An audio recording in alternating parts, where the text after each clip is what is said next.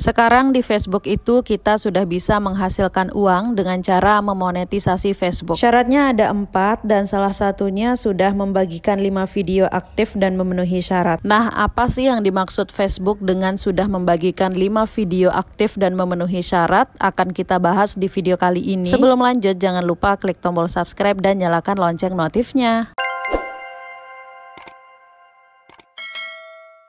Hai guys, Assalamualaikum, welcome back to my YouTube channel. Oke baik, hari ini kita akan membahas tentang monetisasi Facebook. Jadi guys, ada empat syarat untuk monetisasi Facebook atau mendapatkan uang di Facebook. Salah satunya adalah memiliki 5 video aktif dan memenuhi syarat. Nah, untuk teman-teman yang belum melihat video sebelumnya di sana aku sudah menjelaskan langkah awal untuk mendaftar monetisasi Facebook Dan untuk persyaratannya juga sudah aku jelaskan. Tetapi banyak sekali teman-teman yang bertanya terkait terkait 5 video aktif dan memenuhi syarat itu maksudnya gimana dan itu adalah poin yang akan kita bahas di video kali ini. Pertama-tama untuk memulai monetisasi Facebook ini tentunya kita harus sudah mengubah mode Facebook kita ke mode profesional. Setelah itu teman-teman akan bisa mendapatkan penghasilan di Facebook dengan dua cara yaitu dengan mengaktifkan bintang dan juga mendapatkan iklan di setiap postingan atau video yang sudah kita upload ke Facebook. Jadi seperti ini tampilan Facebook kalian kalau sudah berhasil mengubah ke mode profesional. Selanjutnya ada menu dashboard yang bisa teman-teman klik untuk melihat insight penayangan video yang sudah diupload. Selain itu kalian bisa melihat juga syarat-syarat untuk memonetisasi Facebook. Dan ini dia keempat syarat untuk monetisasi Facebook. Yang pertama yaitu tinggal di negara yang memenuhi syarat. Contohnya negara Indonesia. Yang kedua kita sudah memiliki 5000 pengikut atau followers di Facebook. Jadi untuk syarat kedua ini tanpa kalian melanjutkan ke syarat yang ketiga, kalian sudah bisa mendapatkan uang di Facebook dengan cara mengaktifkan bintang atau star. Seperti yang aku jelaskan di awal video tadi untuk menghasilkan uang di Facebook itu ada dua cara dengan mengaktifkan star atau bintang dan juga menempatkan iklan di video yang sudah kita upload atau iklan in-stream. Jadi dengan memenuhi dua syarat ini, yang pertama tinggal di negara Indonesia dan juga sudah memiliki 5000 pengikut dan sudah beralih ke mode profesional, teman-teman sudah bisa bisa mengaktifkan star atau bintang. Selanjutnya untuk menempatkan iklan, kalian harus mengaktifkan iklan in-streamnya. Nah sekarang kita akan masuk ke poin yang ketiga, yaitu teman-teman harus memenuhi persyaratan jam tayang di Facebook, yaitu 60.000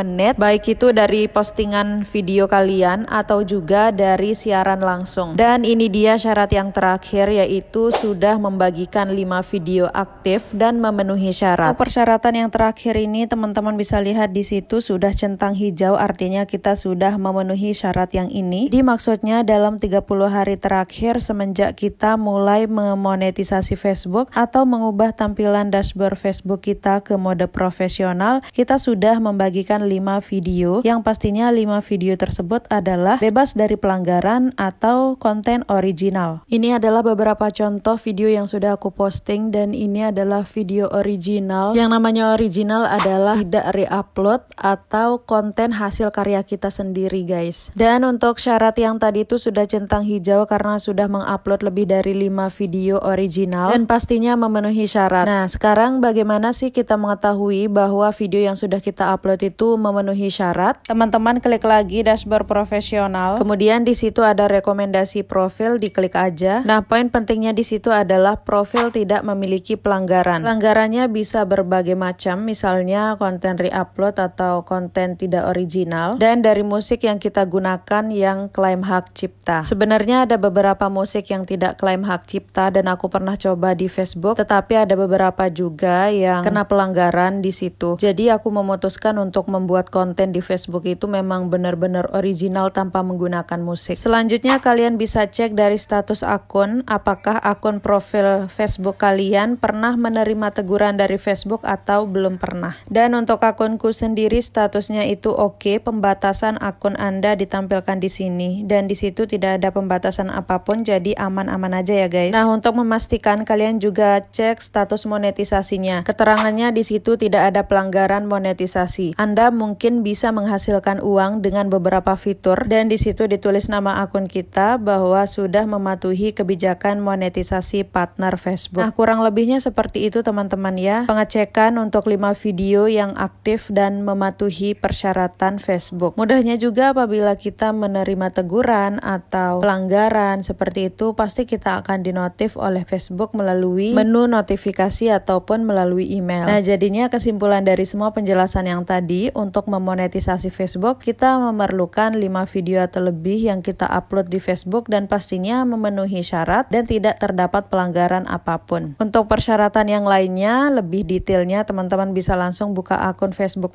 masing-masing dan lihat dashboard ke menu monetisasi. Nah, apabila teman-teman sudah mengetahui informasi lebih terkait monetisasi Facebook, kalian juga bisa sharing melalui kolom komentar. Kalian juga bisa mengecek video lainnya terkait monetisasi Facebook di channel YouTube ini. Terima kasih sudah menonton. Sekian dulu penjelasan kali ini. Semoga apa yang aku sampaikan bisa dipahami dan juga bermanfaat untuk teman-teman semua. Jangan lupa like, comment, share, dan juga subscribe. Wassalamualaikum. Bye.